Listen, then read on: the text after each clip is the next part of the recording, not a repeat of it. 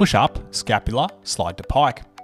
If you're an adult gymnastics skill seeker having trouble with your handstand kick ups, you should try this.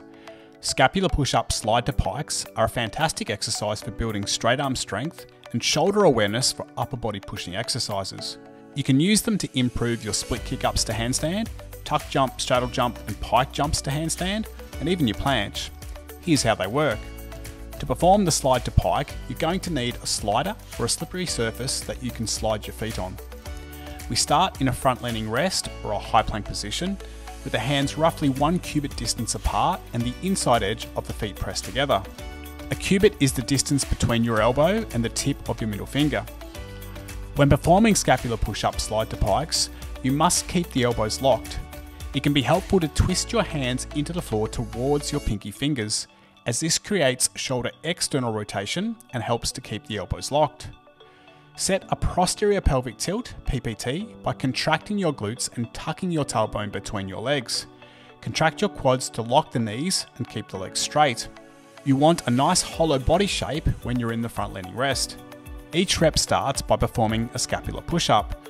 Keep the elbows locked as you retract the shoulders by pinching the shoulder blades together behind your back. As you do this, do not allow the shoulders to shrug up towards your ears. Keep them pulled down towards your back pockets. Then protract the shoulders by spreading your shoulder blades across your back and actively pushing down into the floor. Notice how the upper back is rounded. Maintain the active pushing down into the floor as you pike at the hips and drag your feet towards your hands while keeping the arms and legs straight. Imagine you're trying to pull your hands towards your feet by contracting your lats. The hands won't move, but the intention is there. At the same time, the pelvis moves into an anterior pelvic tilt, APT, as you lift the tailbone towards the sky. The shoulders will also move from a protracted and depressed position to a protracted and elevated position. You don't need to think about this too much as long as you keep actively pushing down into the floor. Once in the pike, your shoulders should cover your ears and there is minimum daylight between the shoulders and ears. Really focus on pushing into the floor to elevate the shoulders. As the feet move towards the hands, push your head and chest forward towards your legs to close the angle between the torso and the thighs. Your pike flexibility will dictate how close you can get your feet to your hands. Hold the pike shape for 3 to 5 seconds before reversing the movements and returning to the front leaning rest, with the arms and legs straight, the shoulders protracted, and the pelvis set in PPT.